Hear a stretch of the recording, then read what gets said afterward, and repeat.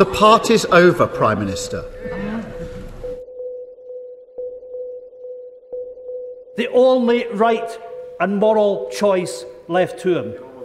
It is for his resignation. Put us all out of our agony and stop dragging democracy through the mud.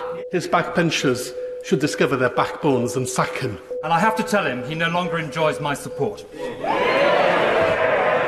Will the Prime Minister agree it's now time for him to resign? His resignation at the same time. Show the Prime Minister the door. Why won't the Prime Minister write his resignation to the Queen? Remove this unfit Prime Minister from office. He will resign, won't he? Show the Prime Minister the door. And resign. Show him the door. Resign. Go. Resign, Prime Minister. Resign. Resign. Will he just resign? Will he now resign? Will he now resign? For God's sake, resign. And resign. Resign. Resign. Resign. And resign. Then he would resign. And resign. Is to resign. It's time for him to resign. And do the right thing and resign. Resign. Resign.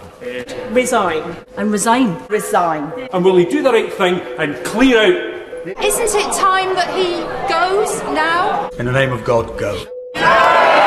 And just go. That's why you should go, Prime Minister. And it's time for him to go. And go. Go, go, go, go, go, go. The Prime Minister is a charlatan, a hypocrite, and a liar. Liar, liar, liar.